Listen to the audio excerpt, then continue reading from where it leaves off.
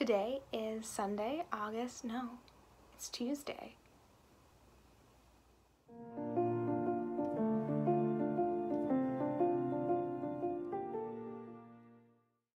Today is Tuesday, August 25th, I believe. Um, and tomorrow is the first day of my second semester of occupational therapy school. So, life update I moved across the country to go to graduate school to become an occupational therapist. And for those of you who don't know, an occupational therapist is someone who uses occupations, which is kind of our term for any meaningful activity you do throughout the day. And so we use those occupations to help people build independence, um, gain strength, gain skills, um, and overall just increase their wellness which is like a very tiny fraction of what we do. Occupational therapy is very broad and I'm very excited to keep learning about it. So the Chickadee Knitting Club is over. Um, maybe it's on hiatus, but I don't really have the time with my school schedule to keep up with the knitting tutorials. And also, as you can see, I'm in a very different location than I was in my little, I call it my little chickadee knitting co cottage? Cottage chickadee knitting cottage um, or my little like, studio that I had set up. And so I decided since things are so new and I'm in a new stage and journey of my life to start a new little series. I've always wanted to do what's called a knitting podcast um, where I just film videos of me um, sharing what's on my mind and sharing what's on my needles what I've been working on. Typically in knitting podcasts, if you're unfamiliar with them, there are two parts to each video. I don't know if there's a particular order that they go in, so I'm just going to play it by ear and do what I feel like doing. Um, but they are WIPs, or WIPs, I think some people call them. Um, I certainly do, which stands for Works in Progress. So those are the projects that I'm currently working on. So works in progress makes kind of sense. And the others are finished objects, which sounds super fancy and just means the projects we've finished or that I finished. And so first I want to share with you some of the finished objects that I've recently gotten done. Um, I've just been obsessed with this one green yarn and I'll have to double check what it is. Um, Another part of Knitting Podcast is always sharing the patterns and yarns that we're using so that anyone who's watching who's interested can try them out for themselves. Um, so I'll do some digging for you and put that in there. But this green yarn, it doesn't look very appealing or interesting on the camera here, but I assure you it is this gorgeous sage. It's very soft. Um, and I've made a few lily pad drink coasters with it. And so I haven't exactly knit these. This is crochet. I do a little bit of crocheting, but not nearly as much as knitting. Um, but I've crocheted these little guys and a little bunting banner for my sister for her new apartment. And then also a little bag receptacle to stick all the plastic trash bags that um, me and my roommate use. So it's a little lumpy with all the bags stuffed in there, but it works pretty great. It has a little hole in the bottom, pulls out, and so I'll be sharing those patterns with you guys in case you are interested. And currently I'm working on two different projects, kind of going back and forth, so when I get bored with one, I hop right onto the other. Um, this first one, here, let me grab it. I won't be able to share the name of the yarn with you because I just got a sweater from the thrift store and unraveled it um, and recycled the yarn that way. So that is a really cheap and easy way to get fantastic quality yarn um, when you're on a budget. Uh, and also it was a really old, like ugly sweater. I don't think anyone um, mourns its loss. So it's going to make a fantastic scarf. I'm working on scarf. Um, usually around the fall and winter time, I like to just make simple scarves, um, garter stitch, just the knit stitch over and over and over and over again, um, so I can make, you know, a nice enough scarf and then tie it around a tree. Um, so someone in the winter who is in need of some extra warm clothing, especially because I live very far north in the United States right now, um, just give them some extra warmth if they need it. And especially in the town that I'm going to college in right now, um, there is a pretty large population of people experiencing homelessness. So I like to do my part um, to help individuals by making little scarves I can tie around trees and then also to help advocate for people experiencing homelessness in my city um, and seeing uh, what sort of progress we can make that way. This yarn is a very dark blue. It's very pretty. Um, but there are little pieces of um, sort of yarn just hanging off of that, and that is intentional.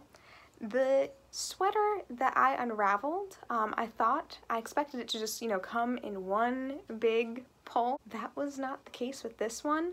Um, it sort of, I guess, was knit in segments, and so every now and then the yarn just ends.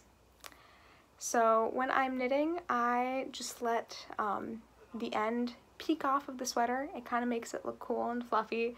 Um, and then about like six or seven stitches before the yarn ends, I add the next yarn in and knit with two yarns at the same time so that it sort of like anchors it in so it's not going to unravel anymore. I hope. Um, I can only hope. Uh, but that is something simple, um, sort of mindless that I can do. Um, and it's a really fantastic project for beginners because not only is it just the easiest stitch over and over and over, as I've said, um, but by making a scarf, all you need is a single skein of yarn, however you get it, whether from recycling a sweater or just buying it at the store. Um, and then also just a really way to give back to the community and help people in a real way and use uh, the gift of knitting, use what you've learned um, to help others. And so I think that's a really great lesson, not only in the realm of knitting and building your knitting skills, um, but also just in life and learning to be generous and learning to think of others and to help others. So that is a fantastic project for you if you are interested in that.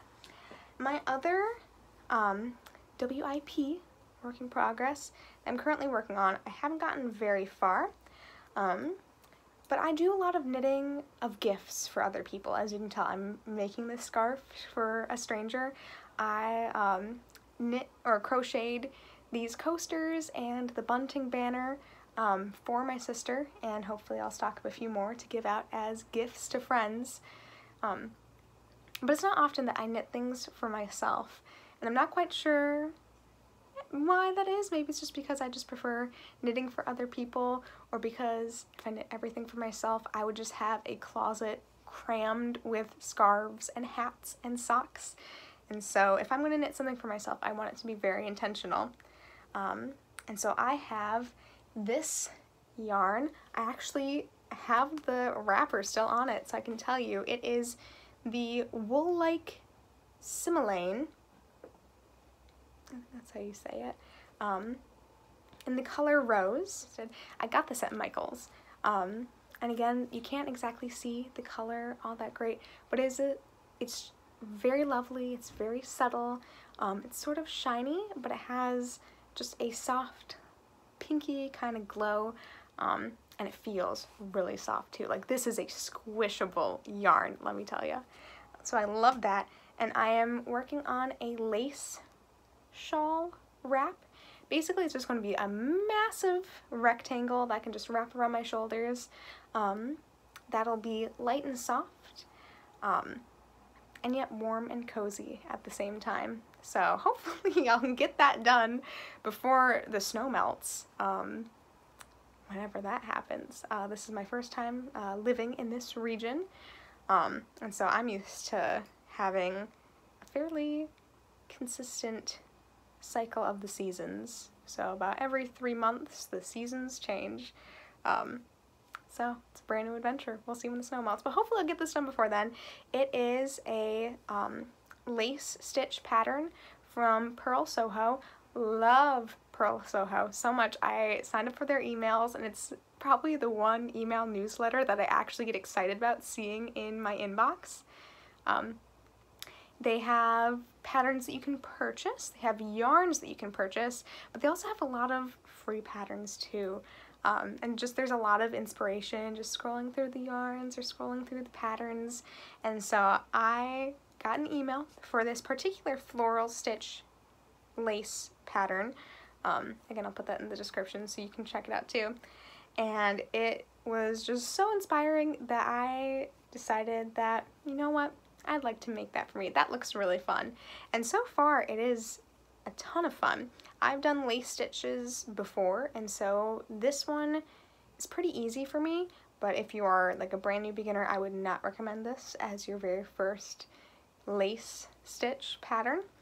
Um, but I'll hold this up a little closer so maybe you can see just the sort of ridges um, and little bits of holes peeking through there. And the way that the pattern goes, it's a little infuriating, I must say. Um, you do a few repetitions of just this same sort of stripy, as you can see the little stripes there, pattern. Um, and then once you've gotten used to it, once you've gotten comfortable with it, you do the same number of rounds, but the stitch pattern is flipped. And so everything you thought you knew, you're doing it backwards. Um, and so I just started that segment of the pattern and I am very much dependent on the pattern, just reading every little instruction. Um, you have about an inch of each section of the pattern going back and forth and in the end it creates this lovely floral, um, soft and wavy sort of design. So hopefully I'll have this as a finished object to show you in a vlog podcast in the future. But for now, um, it's just baby. It's a baby scarf right now. It's a baby. Um, taking good care of it, loving it, cherishing it, um, and having a really fun time knitting with it. And so that's all I have to talk about today. Thank you so much for watching all of this. Um, I hope it was as much fun to watch and calming to watch as it was for me. This was very cathartic. Um, and I like showing off what I've been working on. This is really fun.